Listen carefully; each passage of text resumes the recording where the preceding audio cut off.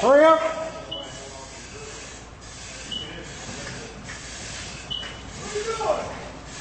Gonna be a hose right behind you. Come right here. There you go. One too many Slim Jims. Awesome, good job. Big dog. Catch your nostril. No, no, this is, you can pull this here. Listen, okay. Hand him an elbow. You pull back here your foot. Watch your footing.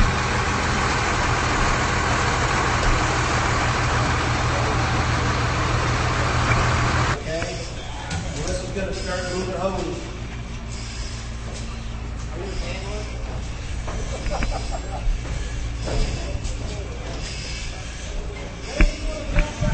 Yeah, what are you on now, Marlin? You start, what floor are you?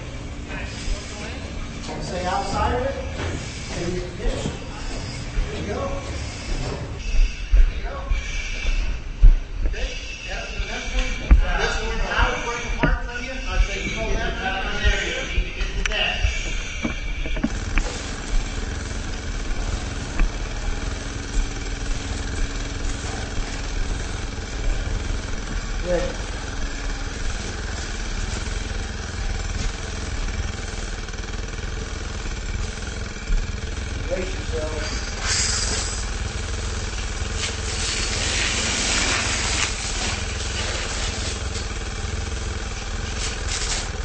So this exercise really shows how important teamwork is. I feel right hand orientation. I'm on a wall. And searching in the room, that's also very complicated, and orientation is everything because when the room is full of smoke, it can be easy to get lost. That's why you use a right or a left hand orientation, and you basically keep your hand following all the way around to make sure that you don't lose where you are in the room. Victim on the bed. Got another one? Yeah, second victim.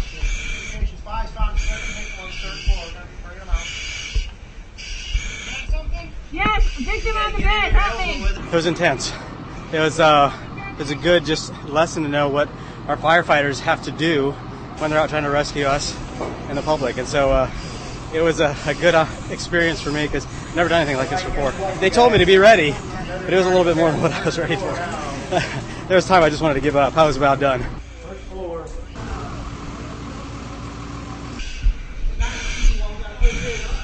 I see the victim.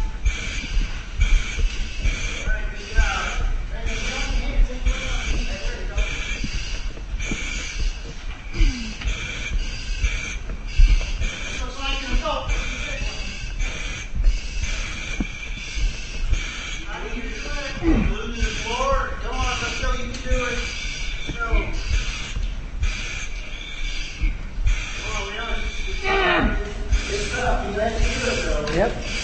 You're doing great. You're doing awesome. You're doing awesome. Yep. Push. There you go. Come on, we're almost there. We're almost there. Don't kill them out. We're almost there. Nicky. Nicky. That's Good job. Keep going. Almost there.